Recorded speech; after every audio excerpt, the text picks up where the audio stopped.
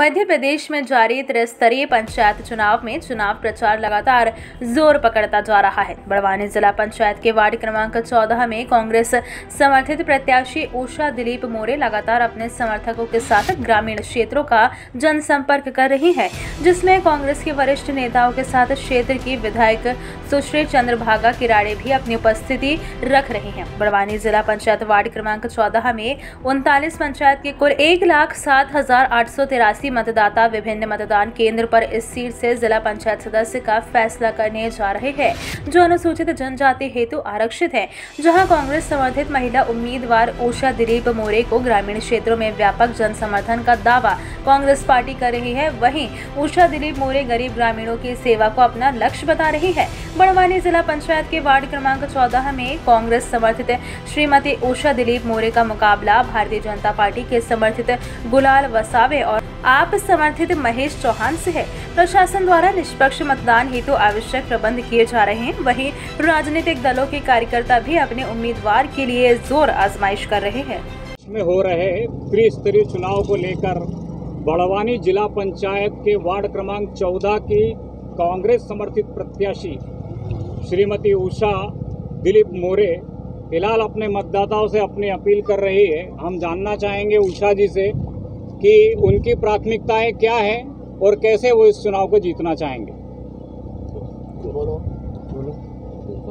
Congress party ने मुझे जिला पंचायत के लिए अधिकृत किया है और मैं घर घर जाके संपर्क कर रही हूँ। जनता जनार्दन अच्छा आशीर्वाद दे रहे हैं। कांग्रेस पार्टी ने पिछले दस साल से अच्छा काम किया है गरीब जनता के लिए और मैं गरीब जनता के लिए गरीब लोगों काम करना चाहती हूँ।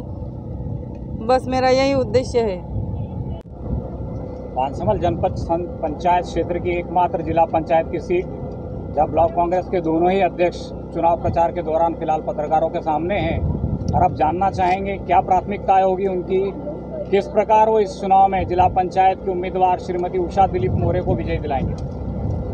मैं ब्लॉक कांग्रेस अध्यक्ष खेतिया संतोष पटेल, जिला पंचायत के अधिकृत उम्मीदवार, कांग्रेस के समर्पित उषाबाई मोरे के प्रचार में हम घर घर जा रहे हैं, उम्मीदवार को लेके, और हम इस जनता पार्टी के जो आठ साल का कुशासन चल रहा है हम लोगों को समझा रहे हैं उसके बारे में कि इन्होंने आठ साल से जनता को धोखा दिया है।